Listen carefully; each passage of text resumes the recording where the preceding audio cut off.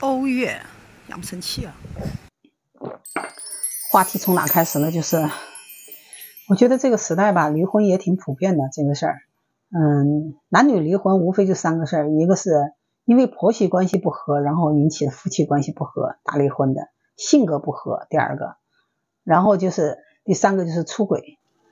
但是出轨的这个原因，嗯，概率要大一些，因为我身边看过太多的那个因为出轨的这个事儿离婚的。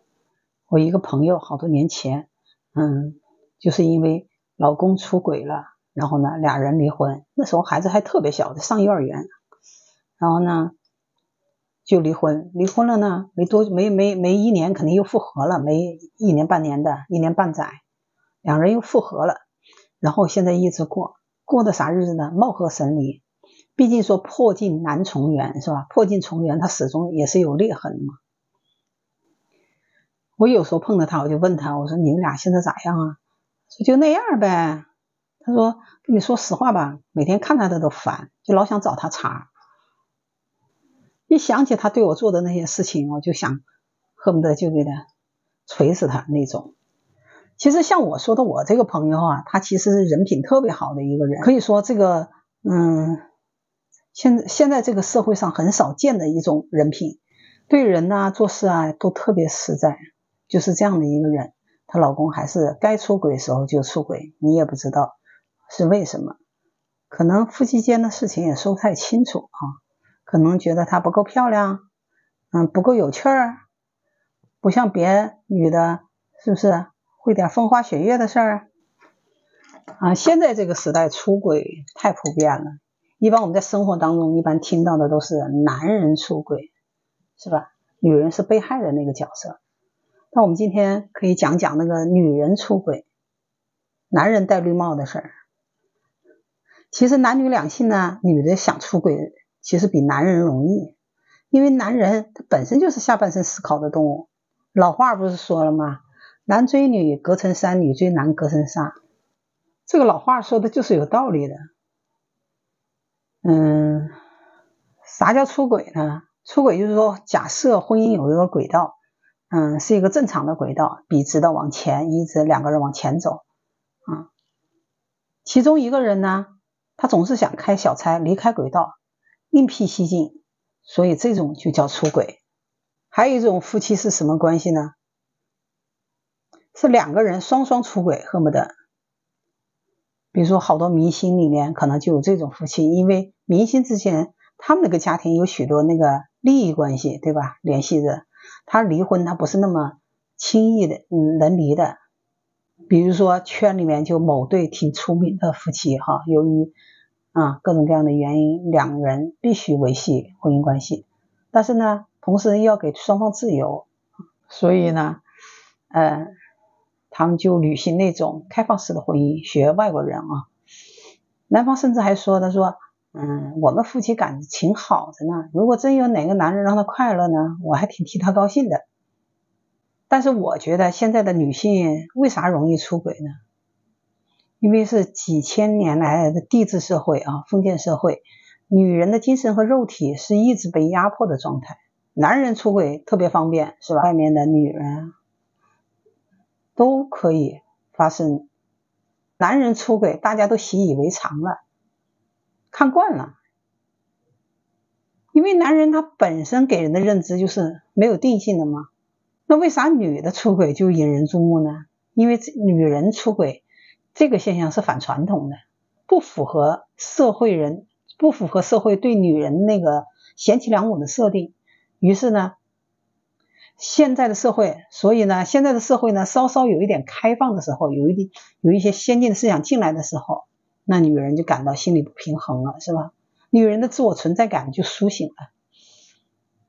比如说，还有个事儿，有一个有钱的老板哈，他他本身他自己是有家庭的，有老婆孩子的，但是呢，他被一个年轻女孩迷住了，他就包养了这个女孩。他这个就是老房子着火没法救，然后两个人呢住在一块儿啊，住来住去，两个人住一块儿也挺好。但是他也他经常回来就发现呢一个问题，一个致命的问题，快把他气死了。啥问题呢？这个女孩呢虽然年轻，但是她老背着这个老男人呢，他出轨。她跟别的年轻男孩在一起。所以呢，他抓着一个机会就问，他他就问这个女孩，就质问她。这个女孩她也很委屈啊，她说：“哎呀，其实我也很爱你呀，但是你主要是你陪我的时间太少了，我剩下的时间我特别无聊，我人特别容易孤独，我也没什么朋友，所以呢，你不在家的时候我咋办呢？你回你老婆那边我咋办呢？我就想找一个朋友打发时间而已。”结果你看这个男的他也不是傻子是吧？他既然别人做生意做的这么有钱，别人商人嘛肯定很精的，他不是傻子，他就他就他就他就不干，他就要他就要跟这女的断，这女的她还还还还不肯断，他还跟他道歉，跟这个男的道歉，嗯，你说要是换了别的女孩要被被抓包了哈，抓着出轨赶走就赶走了呗，找他搞点钱，走了就走了呗，这女孩不走。就不走，不停的道歉就不走，这男的心软，没办法又妥协了。因为这个女孩在外面，她找的小男孩根本就没有办法满足她现在的这个生活状态。这个老男人他有钱呀，年轻男孩他没钱呀，没钱怎么维持这个生活水平呢？然后女孩现在都是享受惯了的，是吧？现在在外面工作打个工，看人脸色，钱挣的又少，多难呐！租房子。是不是？什么时候是个头呢？完了呢，这女孩就噼里啪啦一顿道歉。呃，这个老男人呢，又心一软啊，他他确实也是非常喜欢这种年轻的女孩，他迷恋这一种女孩，他舍他也舍从心里来说，他也舍不得断掉。最后他就想了个办法，他就跟那女孩说：“你一次一次的回来，说明你还是离不开我的。你离开我，你也是活不了的。”所以我们俩呢又想维系这个关系，怎么办呢？我们还不如啊，嗯，签一个包养协议。我一个月固定的给你多少钱，你只提供给我服务就行了，只给我提供服务就行了。但是呢，我有个要求是是不能出轨，不能出轨，必须按这个协议来办。我们这个关系呢，就像道义有道，是吧？在这个道里，你就要遵循我的规则，因为我出钱呀。虽然我确实是不能跟你结婚啊，但是你吃我的呀，穿我的，住我的，我养你。虽然说是这个叫包养你啊，但是呢，你要安安分你这个本分，是不是？你拿了钱你就要办事儿。如果你经济是独立的，我那我管不着。你有钱是吧？不靠我，那我管不着。但是既然我包养你，你就要把它当工作。合同期间你就不能在外面乱来，你就像在公司违反公司规则一样的，要不然我就要扣你工资。可是刚过了一晚上，睡醒了以后，这男的新的问题又来了。这男的又想啊，既然是工作，那这个女的会不会上班摸鱼呀？下班又去自娱自乐呢？这可是这是明知这是人之常情的一个职场心理啊。他拿着在我这挣的钱去找个小帅哥，那我还是人财两空啊。所以他签的这个呢，其实根本就不解决问题。还有一个就是啥？还有一个就是别人讲的，有人去按摩是吧？按摩呢，按摩那个房间都是隔的板房那样啊，隔的板隔的隔不是也不是隔的板房嘛，就是房间那个墙壁比较薄哈，不怎么隔音。